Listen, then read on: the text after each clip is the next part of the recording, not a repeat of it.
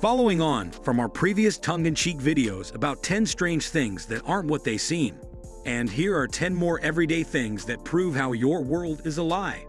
Number 10. Gimli was the tallest in the Fellowship of the Ring.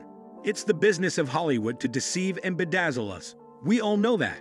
You'll still be slightly surprised to hear that the actor who played Gimli, the dwarf in the phenomenally successful Lord of the Ring movies, Jonathan Rhys Davies, was 6 foot 1 the tallest of all the actors who made up the Fellowship of the Ring. That's right. Not only is the real-life Gimli the dwarf taller than all the hobbits, he's also taller than Aragorn, played by the 5'11 Viggo Mortensen, and the rangy wizard Gandalf, played by Ian McKellen, who is also 5'11. Peter Jackson's Lord of the Rings trilogy has drawn plenty of praise for its special effects. But while critics swooned over Gollum, walking trees, and draw-dropping battles, we missed arguably the most convincing, and let's admit it, bewildering special effect of all, making your tallest actor look the shortest. The way they fooled us was ingenious. They sometimes used scale doubles to play the actors so that they could get the correct proportional height of each character. In the novel, dwarves are slightly taller than hobbits, so they used two scale sets instead of three, by casting taller than average actors like Rhys Davies to play dwarves then combine dwarves and hobbits into one size scale. They also ingeniously use forced perspective on a level never seen before in the film industry. Number 9. Bulls don't give a damn about the color red. Like a rag to a bull. Have you heard that phrase? If you haven't, you're doubtless still aware on at least some level that the color red apparently makes bulls go crazy. After all, that's why Spanish matadors always have red flags, right? That's why your grandfather warned you never to wear red on the farm. The belief that bulls despair the color red is one of the most widely held myths around, and it is a myth. Want to know why bulls can't even see the color red? They are colorblind as far as red is concerned and charged because they see fabric moving, or maybe just because they believe matadors deserve to be gored. The Discovery Channel TV show tested the myth out by varying the color of flanks waved at bulls between red, blue, and white. The thing that determined how furiously the Bulls charged wasn't the color of the flag, but how much it moved. Better change that phrase to like a rapidly moving flag to a bull. Number 8. Ugly Betty wasn't really ugly. Hit ABC comedy drama Ugly Betty drew praise from media commentators for its refreshing willingness to put an unattractive character at the forefront of the show. What a positive and uplifting example Ugly Betty would set to young girls everywhere who weren't blessed with movie star good looks. There was only one floor in the plant.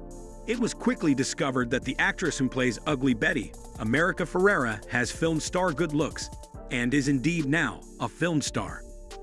It turns out that Hollywood is so superficial, it can't even bear to cast an ugly girl for an ugly part. Instead, they forced a pair of ludicrous braces, a dodgy haircut, and unflattering clothes on Ferrera and had her masquerade as a geek in Hollywood image really is everything. Number 7. Proof that contemporary art isn't worth all it's made out to be. 90% of contemporary art is a crook. Most people would agree with that. Others would say that 99% of it is a crook. Scottish author William Boyd, presumably tiring of people claiming that unmade beds or the act of turning a light switch on or off were acts of genius equivalent to the IRA of Da Vinci or Michelangelo. Devis, the cunning ploy to catch out the art. He wrote a biography of a fictional artist called Nat Tate and launched the book at a commemoration of Tate's work with luminaries like David Bowie and Gore Vidal attending to add credence to the Nat Tate story as well-paid art critics lined up to reminisce about Tate's neglected genius and his influential artworks, which were actually sketched by Boyd. The hoax was revealed, and the art world was forced.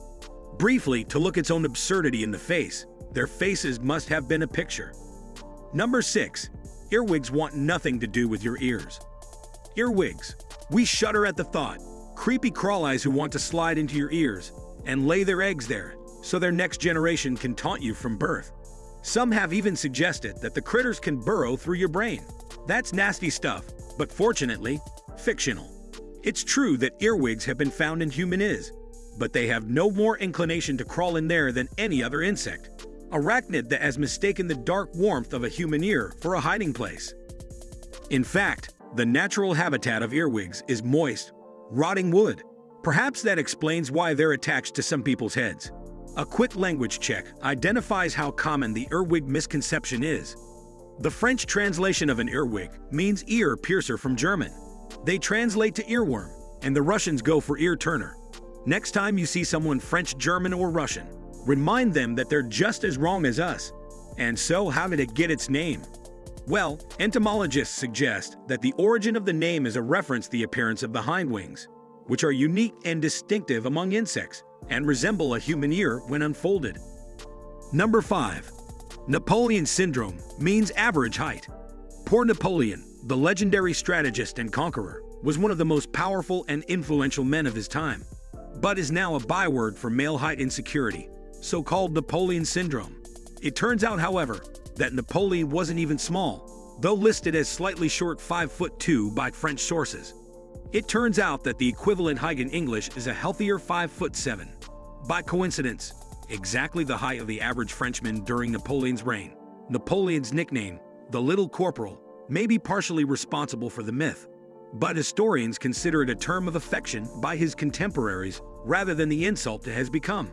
It has also been hypothesized that because Napoleon surrounded himself with the biggest, toughest guards around, he would have obviously appeared small in comparison. Next time someone claims you have Napoleon syndrome, take pleasure in putting them right. Number 4. The dinosaurs were, more accurately, killed by bad luck. Anyone who watched Jurassic Park knows that it must have taken something serious to wipe the dinosaurs out. A 9-mile wide asteroid sounds like it might have been able to do the job, but when is life ever as simple as that? Two recent studies suggest it was something far more profound that killed the dinos, bad luck. Der Steve Brusatte of Edinburgh University published an article in the journal Biological Reviews claiming that it was colossal bad luck that wiped out the dinosaurs, with the meteor strike arriving at a time when sea level rises and volcanic activity created a perfect storm. Brusatte claimed that if the asteroid had struck a few million years later or earlier, the dinosaurs would have survived the impact.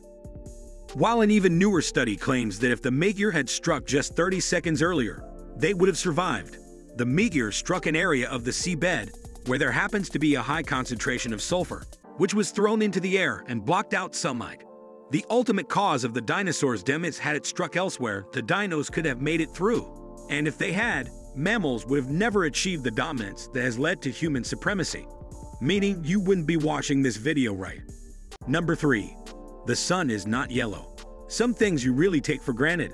The sea is blue, the grass is green, the sun is yellow, or maybe orange, perhaps with a bit of red, but certainly a warm color, all wrong. Actually, the sun is white. So, scientists say, and who can argue with them? Support for the scientists. Apparently, outlandish claims come from pictures of the sun taken in space, where it does appear to be a perfect white. It's the interaction of sunlight with the Earth's atmosphere that makes it appear yellow, orange, or red to us. These wavelengths of light are less easily dispersed by the Earth's atmosphere than the other colors in the spectrum blue, indigo, and violet. So are the colors our eyes pick out when we look upwards. The reason the sun can appear reddish at dawn is because the sun is closer to the horizon of the Earth at this time and even more blue light is deflected away. It seems you can't even trust your eyes in this world. Number 2. Eve didn't necessarily eat an apple. When I say Eve, you say apple or maybe Adam. But the other, a word isn't far away. Poor Eve has a lot of weight to carry on her shoulders. In our day of Haribos, cheesecakes, and triple chocolate muffins, an apple seems even less worth the price of costing humanity out of the Garden of Eden and into the big bad world as we know it. It has been pointed out, however, that nowhere in the Bible does it specify that to Eve actually ate to apple. Rather, the exact quote makes reference to a forbidden fruit. Who's to say Eve didn't have a tangerine or a grape? Surely a perfectly moist peach or a sweet slab of melon is more worth the price of eternal damnation than a Granny Smith. Milton's influential poem, Paradise Lost, is cited by many as the reason we believe Eve ate apple, as this is the fruit featured in the poem. But it isn't necessarily the fruit in the Bible. Number 1. Count Dracula's Wanted Poster. Movies have the power to shape our worldview and impact images in our minds. When you close your eyes and picture Count Dracula, it seems inevitable that a black and white image of a pallid man with dark hair, a widow's peak, a cape, and a smooth, thin face will come to mind. The face of Bela Lugosi, who played Dracula in an iconic 1931 movie. Dracula predates Lugosi, however. He originated as a particular character of Bram Stoker's novel, where he was described in some detail. Brian Joseph Davis uses police mugshot techniques to recreate images of fictional characters. From their descriptions of their creators and Stoker's Dracula looks markedly different to Lugosi. For one thing, he has white hair and a handlebar mustache. Picture that. Dracula with a biker's mustache. Your life will never be the same again. So, there you have it. Which one surprised you the most? Let me know in the comment section down below. Also, if you enjoyed this video, make sure to leave it a like and subscribe clicking that bell icon to stay updated. Thanks for watching.